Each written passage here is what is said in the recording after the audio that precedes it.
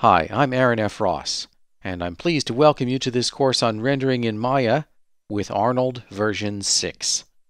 Arnold is the high-end rendering engine in Maya.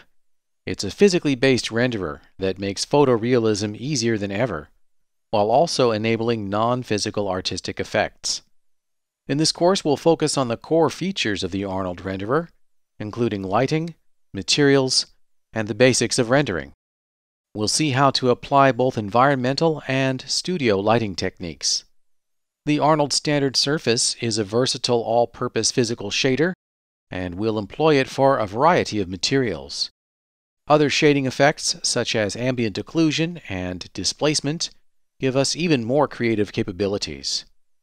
The course concludes with a look at camera and rendering tools to output various types of imagery such as fisheye distortion, spherical environments, and animation image sequences.